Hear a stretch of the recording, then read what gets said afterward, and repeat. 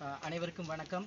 தலவக்கலை கட்டுக்கலை தோட்டத்திலே இன்று அஹ், நேற்று தோட்ட தொழிலாளர் இருவர் தாக்க தோட்ட முகாமையாளரால் தாக்கப்பட்டு இந்த இரண்டு பெண்மணிகள் வைத்தியசாலையில் அனுமதிக்கப்பட்டிருக்கின்றார்கள். அந்த இரண்டு பெண்மணிகளையும் கூட இன்று பலாத்காரமாக டிக்கெட் வெட்டி அனுப்பி வைத்திருக்கின்றார்கள் அந்த வைத்தியசாலையின் அஹ், வைத்தியர்கள். ஆகவே இங்கு அடிப்பட்டது தோட்ட தொழிலாளர்கள் அடித்தது தோட்ட முகாமையாளர்கள் தோட்ட முகாமையாளர்கள் வெறுமனே பொய்யாக வைத்தியசாலையில் அனுமதிக்கப்பட்டிருக்கின்றார்கள். தங்களுடைய அதிகாரத்தை பயன்படுத்தி இந்த மக்களை அடக்குவதற்காக தோட்ட தொழிலாளர்களை அஹ், வைத்தியசாலையிலிருந்து வெளியேற்றி மீண்டும் அந்த அவர்களை கைது செய்ய வேண்டும் என்பதற்காக எத்தனித்துக் கொண்டிருக்கின்றார்கள். அது மட்டுமல்லாது நேற்று இரவு ஒன்பது பேரை அஹ், இந்த போலீசார் வந்து கைது செய்வதற்கு முனைந்திருக்கின்றார்கள். இந்த மக்கள் அச்சத்தோடு இருக்கின்றார்கள். எந்த நேரத்தில் போலீஸ் வந்து இவர்களுக்கு அச்சுறுத்தலை கொடுப்பார்கள்?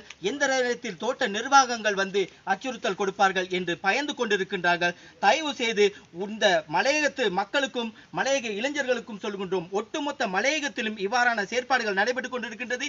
மலையக இளைஞர்களும் மலையக மக்களும் ஒன்று திரண்டு இந்த அஹ், பிரச்சனைக்கு நாம் தீர்வு காண வேண்டும் என்பதை கூறிக்கொள்வதோடு இனிவரும் காலங்களில் இவ்வாறான பிரச்சனைகள் மலையகத்தில் ஏற்படுமாக இருந்தால் ஒட்டுமொத்த மலையக இளைஞர்களும் ஒன்று திரண்டு கொழும்பிலே காலிமுகத்திடலில் போராட்டத்தை முன்னெடுத்தது போன்று இந்த மலையகத்திலே போராட்டம் வெடிக்கும் என்பதை ஆணித்தரமாக கூறுகின்றோம். கௌரவத்துக்குரிய ஜனாதிபதி அவர்களே இந்த நாட்டில் கொரோனா காலத்தில் கூட இந்த மக்கள் மாத்திரம் வேலை செய்து இந்த நாட்டை காப்பாற்றி கொண்டு வருகின்றார்கள். ஆகவே இந்த இந்த மக்களுக்கு உரிய பாதுகாப்பையும் உரிய வேலை திட்டங்களையும் செயற்படுத்துமாறு கேட்டுக்கொள்கின்றோம். அது மட்டுமல்லாது ஆளு ஆளும் கட்சிக்கும் எதிர்க்கட்சிக்கும் அஹ், கொண்டிருக்கின்ற ஆளும் கட்சியை காப்பாற்றுவதற்கும் எதிர்கட்சியை காப்பாற்றுவதற்கும் முனைந்து கொண்டிருக்கின்ற தோட்ட மலையக அரசியல் தலைவர்களே இந்த மக்களின் வாக்கை வாங்கி வாங்கிதான் நீங்கள் தலைவராகினீர்கள் என்றதை மறந்து விடாதீர்கள். இந்த மக்களுக்கு ஒரு பிரச்சனை என்கின்ற போது நீங்கள் ஒதுங்கி நிற்பது அவ்வளவு சரியல்ல.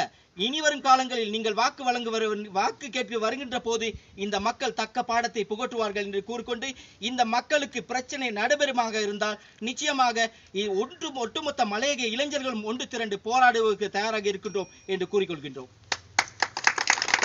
வேலை இல்லைன்னு சொன்னதுனால பொன்னியில செல்வி என்பவருக்கு வேலை இல்லைன்ட்டாங்க. வேலை இல்லைன்னு சொன்னைக்கு ஏன் நீங்க மூணு நாள் வேலை கொடுக்க இயலாதுன்னு நாங்க துரைக்கிட்ட கேட்டோம். அப்படித்தான் அவங்களுக்கு விசாரணை செஞ்சு தான் வேலை கொடுப்போம் நாங்க. நாங்க கேட்டோம் ஏன் கொடுக்க இயலாதுன்னு. இயலாதுன்னு துரை வெளியே வந்து அந்த அக்காவை பிடிச்சி கீழே தள்ளிட்டாரு. தள்ளுனைக்கு நாங்க ஹாஸ்பிட்டலுக்கு கொண்டு போனோம். ஹாஸ்பிட்டலுக்கு நாங்க ஏத்துனோம். அதுக்கப்புறம் என்ன நடந்துச்சுன்னு கூட எங்களுக்கு தெரியாது. இவங்க இதே தான் வருஷம் பூரா செஞ்சுக்கிட்டு இருக்காங்க இப்போ எங்க ஆம்பளை ஆளுங்க அவ்வளோ பேர்த்தையும் போலீஸ்ல வச்சிருக்காங்க. வச்சிருந்து சொல்றாங்க. இவங்க செஞ்சவங்க மேல தவற போடலை. சும்மா இருந்தவங்க மேலே தான் தவறை போட்டிருக்காங்க. இப்போ அவங்களுக்கு எங்களுக்கு அவங்க மட்டும் வெளியில வந்துட்டாங்க. எங்க இளைஞர்கள் அவ்வளவு பேர் பாவம் தானே. அவங்க அவ்வளவு கஷ்டத்துல உள்ளவங்க தானே நிறைய பேர் இருக்காங்க. அந்த பெண்மணியை நினைச்சா அவ்வளவு கவலையா இருக்கு எங்களுக்கு. அவங்களுக்கு ஏதாச்சும் ஒரு தீர்ப்பு கிடைக்கணும்னா நாளைக்கு எங்களுக்கும் அதே நிலைமை தான். நாங்களும் பிள்ளைங்களை வச்சிருக்கோம். எங்களுக்கு ஏதாச்சும் நல்ல முடிவுன்னு வரணும். இல்லாட்டி நாங்க இன்னும் இந்த ஆர்ப்பாட்டத்தை நாங்க தொடருவோம். இவ்வளோ நாங்க வன்முறையில நாங்க வேலை செய்கிறோம் எங்களுக்கு இருபது கிலோ எடுக்கலைன்னா எங்களுக்கு அரைப்பேருங்கிறாரு ஐயா. கேட்டா சொல்றாரு சம்பள காட்டிலே அதே தான் இருக்கு. ஆம்பளாளுங்க இன்னும் சம்பளம் வாங்கல. எவ்வளவு நாங்க கஷ்டத்துல இருக்கோம். எங்க கஷ்டத்தை நிறைவேற்றி கொடுக்கணுமாறு உங்க எல்லாத்துக்கும் நாங்க கும்பிடுவோம். உண்மைக்குமே கும்பிடுறோம். நடந்து முடிந்த சம்பள பேச்சுவார்த்தை பின்னர் ஆயிரம் ரூபாய் கொடுப்பது வழங்குவதாக அரசாங்கம் தீர்மானித்திருந்தது. அதன் பிறகு எங்களுக்கு த- சுமார் இரண்டு மாத காலமாக ஆயிரம் ரூபாய் வழங்கப்பட்டு வந்தது. கடந்த இரண்டு மாதத்துக்கு பின்னர் ஒரு நாள் சம்பளமாக ரூபாய் ஆண் தொழிலாளர்களுக்கு ரூபாய் ஐநூற்றி அறுபது ரூபாய் வழங்குவதற்கு தீர்மானித்தார்கள். இது இதே வேளையில் நாங்கள் இந்த ஐநூற்றி அறுபது ரூபா வாங்க முடியாது என்று கடந்த இரண்டு மாதமாக நாங்கள் சம்பளங்களை ஆண் தொழிலாளர்கள் வாங்கவில்லை. அதே போன்று இந்த தோட்டமானது நூற்றி பத்து ஹெக்டர் தேயிலை ஹெக்டர்களை கொண்ட ஒரு தோட்டமானது. இங்கே வேலை செய்வதற்கு தொழிலாளி பற்றா என்ற குறைபாட்டினால் வெளி இடங்களிலிருந்து தொழிலாளர்களை கொண்டு வந்து இங்கே அவர்கள் அஹ், அதாவது விபி தேலைகளில் அவர்கள் கொழுந்து பறிக்கப்படுகிறார் அதே போன்று எங்களது இந்த தோட்டத்திலே உழைத்து வருகின்ற எமது தொழிலாளர்களுக்கு சுமார் சீல்டிங் தேலைகளை வழங்கி இவர்கள் பதினெட்டு கிலோ எடுக்க வேண்டும். இல்லாவிட்டால் அவர்களுக்கு கிலோ ஒன்றுக்கு ரூபாய் நாற்பது ரூபாய் வழங்குவதாக இந்த நிர்வாகம் வழங்கி வருகிறது. இதற்கும் இது மட்டுமின்றி நேற்று இங்கு இடம்பெற்ற அதை பிரச்சனையின் பொழுது தோட்ட நீ முகாமையாளருக்கு எந்த விதமான தாக்கங்கள் இல்லை. இவர்கள் எமது தொழிலாளர்களை இந்த பிரச்சனையிலிருந்து அவர்களுக்கு அந்த பிரச்சனையை அதிகரித்து கொடுக்க வேண்டும் என்று அதிலிருந்து தப்பித்துக் கொள்வதற்காகவே அவர்கள் வைத்தியசாலை அமைக்கப்பட்டிருக்கின்றார்கள். வைத்தியசாலையில் இருக்கின்ற ஆம்புலன்ஸ் அதாவது தோட்டத்தில் இருக்கின்ற ஆம்புலன்ஸ் கூட தொழிலாளர்களுக்கே பயன்படுத்த வேண்டும். ஆனால் இங்கு வந்து இந்த ஆம்புலன்ஸ் வண்டியானது தோட்ட முகாமையாளர்களுக்கு மாத்திரமே இந்த ஆம்புலன்ஸ் வண்டி நேற்று வழங்கப்பட்டது. இதையும் நான் குறுகிய ஒரு காலத்துல நாங்க வந்து 700 சம்பளத்துக்கு வேலை செஞ்சோம்.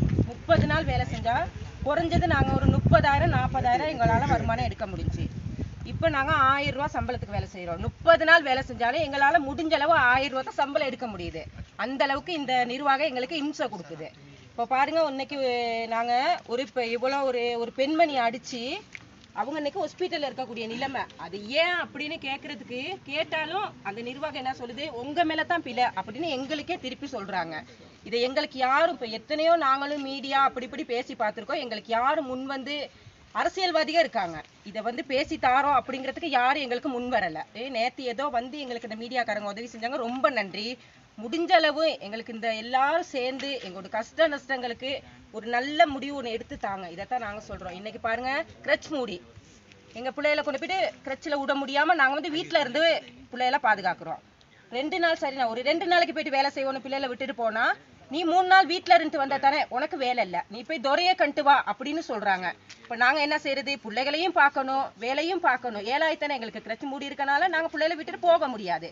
அப்படியான ஒரு சூழ்நிலையில தான் நாங்க வாழ்ந்துகிட்டு இருக்கோம். இப்போ பாருங்க கொழுந்தெடுத்து அதே வந்து ஒரு வெளியில இருந்து ஆட்கள் கொண்டாந்து போடுறாங்க. அவங்களுக்கு வந்து நல்ல ஒரு கொழுந்து இருக்குது.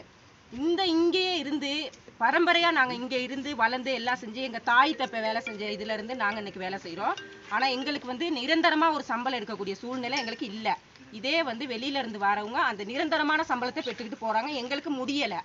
அதனால எங்களுக்கு எல்லாரும் சேர்ந்து ஒத்துழைச்சி எங்களுக்கு ஒரு நல்ல தீர்வை கொடுங்க. இன்னைக்கு பாருங்க எங் நாங்கள் ஒரு பெண்கள் செஞ்சது தவறு துறமறை எங்களை தாக்குனதுனால நாங்கள் அவங்கள தாக்கணும் பெண்கள் தான் தாக்கணும் இந்த பெண்கள் தாக்குதலுக்காக இன்னைக்கு எங்களோட ஆண்கள்லாம் எங்க இருக்காங்க? ஒரு நிர் ஒரு போலீஸ்ல இருக்க வேண்டிய சூழ்நிலை எங்களுக்காக போயிட்டு இருக்காங்க எங்களுடைய பெண்மணிகள் ஹாஸ்பிட்டல்ல இருக்காங்க. இதுக்கெல்லாம் நீங்க எங்களுக்கு ஒத்துழைச்சு நல்ல ஒரு முடிவு எடுத்து கொடுங்க.